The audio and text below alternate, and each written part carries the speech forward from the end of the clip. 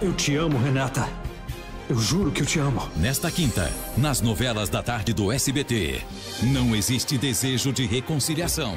O que vai fazer com o Jerônimo?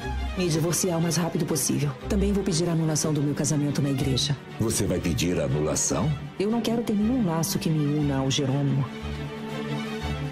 Para mim, ele tá morto. E mais um casamento precisa ser anulado. Nesta quinta, seis e meia da tarde, quando me apaixono.